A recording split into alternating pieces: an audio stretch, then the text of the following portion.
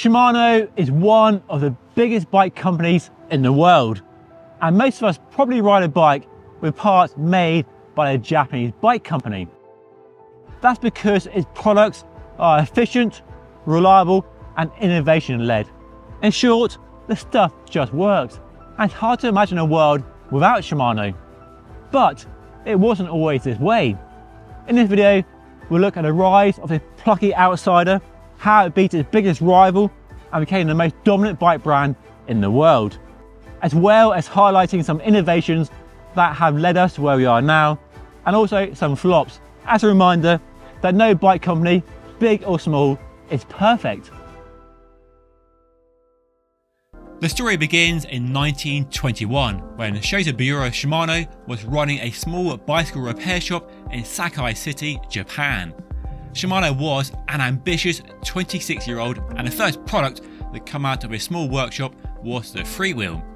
It wasn't until the 1950s that Shimano started on its road to success and developed its first gear changing product including a 3-speed internal hub gear. At the same time, the company was also investing in cold forging manufacturing technology, which would later become a pillar of its expertise and manufacturing prowess. Fast forward to the 1970s and things get really exciting because in 1971 the company launched the famous crane rear derailleur, a product that truly set Shimano on its path to future road cycling market dominance. Except the reaction at the time wasn't all that generous because in the 70s there was one company that really dominated the road cycling scene, Campagnolo. The Italian company was a market leader and famous for quality and durability, and unseating them as a favourite in the pro cycling scene would be a tough challenge for Shimano. Yet, the early derailleur shows Shimano's focus on innovation. It was no mere copycat, it was beautifully made from aluminium with a dropped parallelogram design that kept the pulley wheels parallel to the sprocket. Plus, it was lightweight, and that mattered to Schwinn, a giant US bike brand at the time who chose to fit this product to its bikes. And the battle between Shimano and Campagnolo truly started in earnest. Skip ahead to 1980 and the first Dura-Ace product arrived in the world. It was called Dura-Ace AX 7300 and it was a masterpiece of development and refinement and also showed the first index gearing system. But while it wasn't a commercial success, it did force other companies to play catch up. The name Dura-Ace also showed the company's ambitious streak.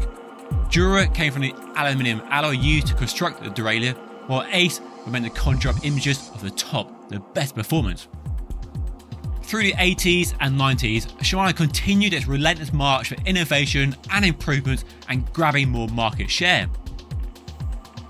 The second generation Dura-Ace 7400 group set gave the world the groundbreaking Shimano Index System, SIS for short, which pushed friction shifters into the history books. During the 80s, Shimano would also seize the opportunity to enter the new and fast growing mountain bike market. Deore XT was the first offering and brought its SIS index gear technology from road bikes to off-road bikes. Mountain bikes were booming in the late 80s and Shimano products were well placed to meet this new demand for products that can stand up to the abuse of off-road riding. Shimano would also launch a group set that is hugely popular today, Ultegra, which sits below Dura-Ace, bringing Dura-Ace technology to a lower price point for the first time.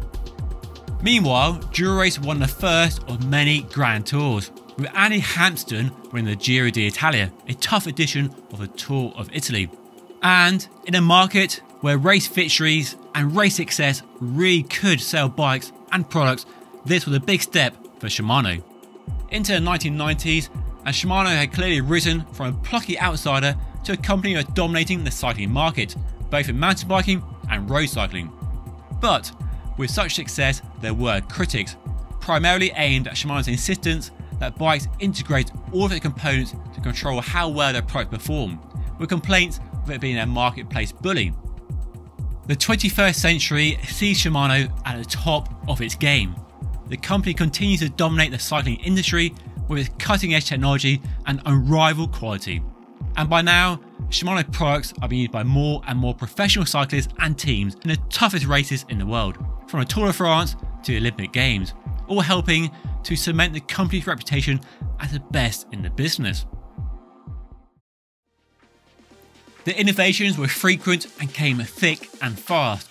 Dual control for road bikes, 8, 9, 10 and 11 speed shifting, XTR mountain bike group set is launched and aimed at racing professionals, and they also launched the hugely popular Shimano Pedaling Dynamics, SPD for short, for mountain bikers, and SPD SL for road bikes, two pedal systems that even today are still hugely popular. The list of innovations and products are too long to list in a video, but one innovation really stands out.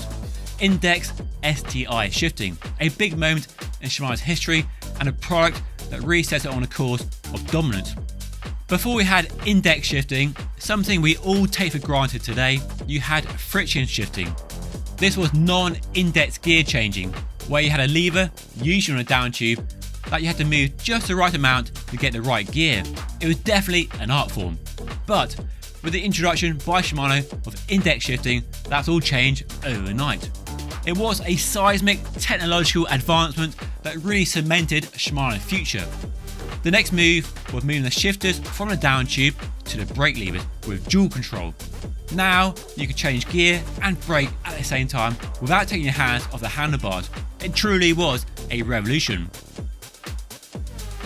Shimano would evolve and refine its mechanical shifting to a state of near perfection. And then in 2011, everything changed. Shimano introduced its first ever electronic group set, Di2, which is now into its third generation and available at three price points 105, Ultegra, and Dura-Ace. It's worth pointing out that Shimano wasn't the first manufacturer to offer an electronic shifting group set. Mavic got there a few decades before, but Shimano was the first company to get it right and to make it as popular as it has become today. A popularity that has definitely taken some people by surprise, given the last 50 years of Shimano's market share has been based on making the best mechanical shifting group sets available. While Di2 was clearly a hit, not all products in its back catalogue were that well received. Famous bloopers include the Biopace chainrings and dual control bike flappy paddle shifters and rapid rise rear derailleurs. Those are best forgotten.